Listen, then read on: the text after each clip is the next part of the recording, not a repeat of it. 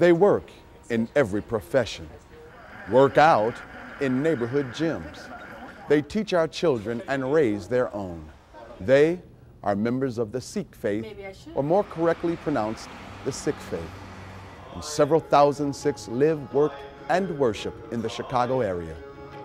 Hello, I'm Chaplain Dean with the Chicago Police Department.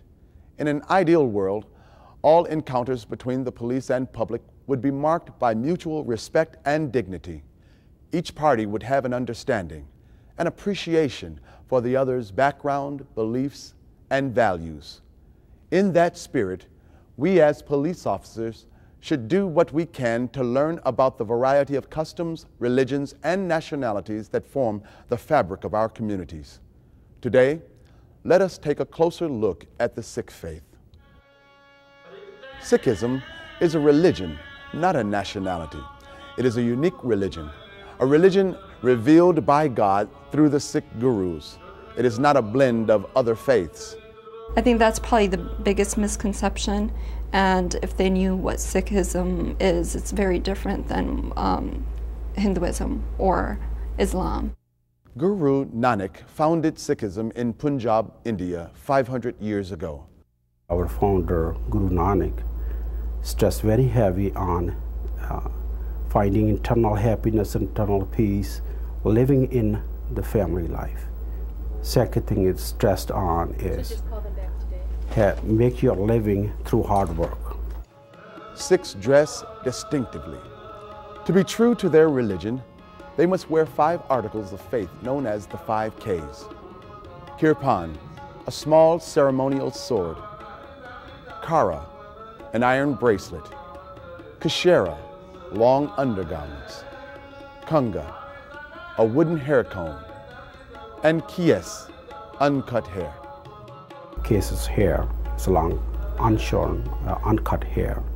Uh, we don't shave off, we don't cut hair from any part of our body. Uh, there's a comb to keep our hair clean. Hair is not all over the face, it's tied up nicely, neatly, so it's not a hindrance in your day to day activity. Male Sikhs and some female Sikhs wrap their hair in turbans. This is not a fashion preference, it is a religious requirement. This is a, a, part of my identity, my faith, being a Sikh. So I have to wear it, and taking it off would be like being a coward, being going back on my word. We don't uh, go out without covering our hair. Even inside the house, I keep it covered. Men are required to wear a turban. Um, women have a choice too, and not many do, uh, but I choose to the biggest misconception when they see somebody with a turban and they had just seen a picture of Osama bin Laden or their followers out there, and then they, you know, they think that oh maybe some way attached to them, which is not the case. As police officers, we need to be aware that the turban is not just a head covering or a hat. It is a revered religious symbol. Unless you are going to conduct a legally justified pat down or a custodial search, the turban should never be touched. In the event that you must conduct a pat down or custodial search, explain why you are doing it. If removal of the turban is required, allow the Sikh person to unwrap their turban in a private area, unless there are overriding safety or security concerns. And somebody touching my turban or forcibly taking it off is like assaulting me or like uh, uh, insulting me and uh, uh, stripping me of my dignity and my honor. Just as a turban is a revered article of faith, so is the kirpan, the ceremonial sword. Sikhs wear kirpans to symbolize their commitment to justice and human rights. Be aware that both state statute and municipal code dictate the legalities of carrying a kirpan. In short, state law and the municipal code allow a Sikh person to carry a kirpan, provided the kirpan is not carried in a threatening or menacing manner, that it is not carried with an intended unlawful use, and that the kirpan is not concealed on or about the person. Municipal code makes it unlawful for a person to carry a concealed knife with a blade longer than two and a half inches. While most kirpans have blades longer than two inches, most Sikhs wear the kirpan in a sheath openly suspended from the waist. If worn in this manner, the kirpan is not considered concealed, and so wearing the kirpan in this manner is within the law. The municipal code is more restrictive for those 18 years of age or younger. By law, those who are 18 and under are prohibited from possessing any blade two inches or longer in length, concealed or not. While we respect the laws of this country, Sikhs consider the kirpan an article of faith rather than a mere weapon.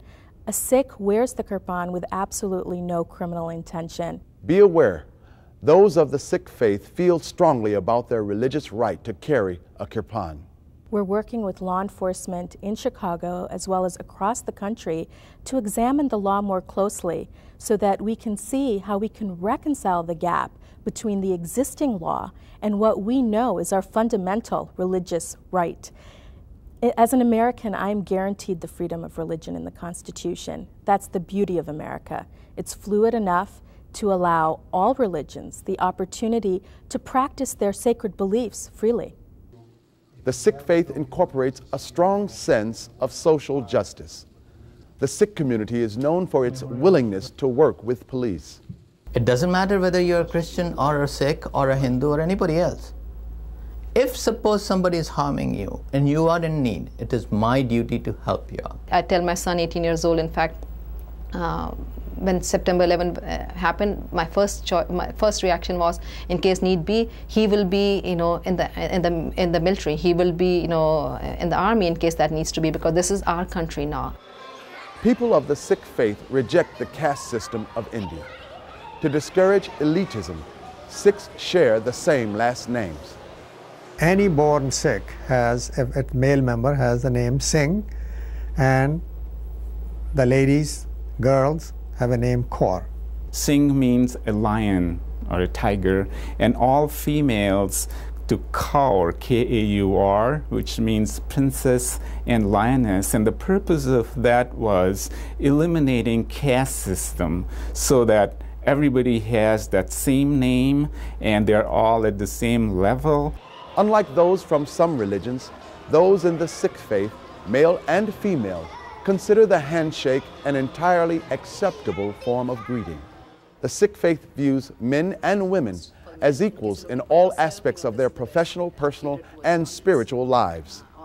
According to the instructions in the Sikh faith, women are treated equal, they should be treated equal, they are created equal, and they're equal partners. There's really nothing that limits women from doing anything in our religion, socially, culturally, religiously. I'm blessed to have my own uh, domain, my own uh, business where I can really have the flexibility have of being a professional, being a productive member of the society, yet being a mother, which is the most important role.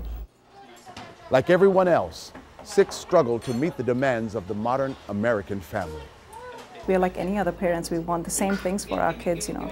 Want them to have a good upbringing, you know, go to good schools, a good education, for them to be good, you know, contributing citizens of the, of the country. I mean, just, just what any other parent would want of their children. Day-to-day activities, uh, yes, uh, it's a typical, typical family you'll find anywhere. Sure, we do all those things. We have birthday cakes. Uh, our children goes to Chuck E. Cheese and and all those McDonald's and all those places we go. Uh, you know, th there's no difference. Many Sikh homes have a room set aside for prayer where they keep the Sikh holy book called the Guru Granth Sahib. When responding to a call at a Sikh home, be respectful of this room.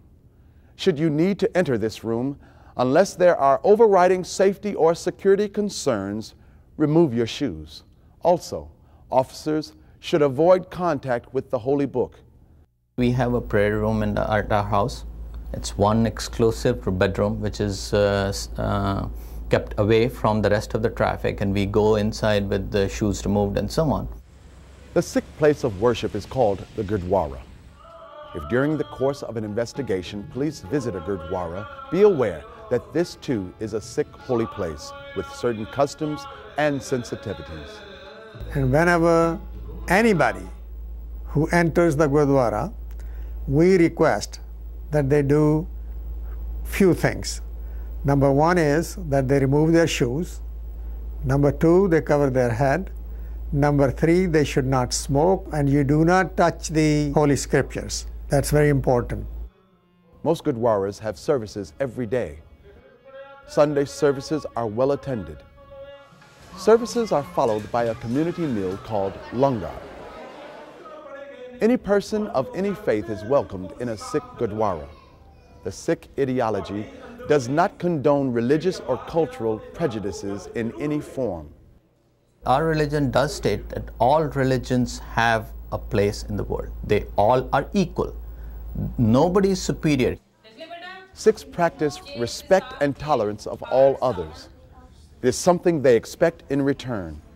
We're all humans. We should be relating to one another, and we believe in one God, and the God unites us all. You can consider me like somebody in your neighborhood, next door neighbor, someone, a colleague at work, uh, another person at school, sitting next to your class. The only difference is I look a little different because I have a beard and I have a turban. Let's take a moment to conclude and to review some of the highlights of the Sikh faith. The five Ks of Sikhism are sacred to Sikhs. Turbans are a revered article of faith. Unless a search is legally justified, avoid touching a turban and refrain from asking a Sikh to remove his or her turban. Should there be a need for a legally justified search, if possible, allow the Sikh to remove his or her turban in private. Sikhs carry kirpans, small ceremonial swords. As long as they are worn suspended from the waist and are not concealed, the carrying of a kirpan is legal for those older than 18 years of age. For those 18 years and younger, the kirpan blade must be less than two inches in length. Shaking hands is not offensive to Sikh men and women. It is an acceptable way to greet people. Keep in mind two special places for those of the Sikh faith the Gurdwara, a place of public worship, and the special room in a private home where the Sikh holy book is kept. Typically, visitors to these holy places are asked to remove their shoes and wear a head covering. All of the people we encounter on a daily basis expect to be treated with dignity and respect. Those who practice the Sikh faith are certainly no exception. It is our hope that this video will serve to enlighten and foster a new awareness and understanding. Thanks for watching.